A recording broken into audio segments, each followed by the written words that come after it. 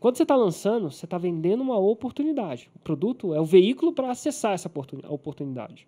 Seja emagrecer, ganhar dinheiro. Seja emagrecer, ganhar dinheiro, ficar mais bonito. E aí, antes de você falar sobre a oportunidade, você tem que explicar a procedência da oportunidade. Por quê? Para tornar aquela oportunidade plausível. É mais fácil isso, explicar isso com um exemplo. Vamos supor que o Gui seja um colecionador de vinhos. E vamos supor que eu tenho aqui uma garrafa do século XIX, século XVIII, extremamente rara. Que porque ela é muito rara, ela custa 50 mil dólares, Gui.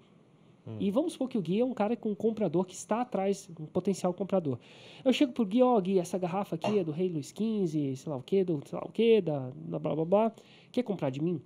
Ele vê assim, existe uma oportunidade, ela custa caro, mas vale. Um, uma coisa que o comprador vai acessar sempre para checar a plausibilidade daquilo é como é que essa garrafa parou na sua mão. Muito Se ela sim, eu tenho que contar uma história da procedência da garrafa, que o Gui vai estar tá preocupado daquilo ser uma falsa oportunidade. É uma uhum. preocupação que todo mundo tem com uma grande promessa.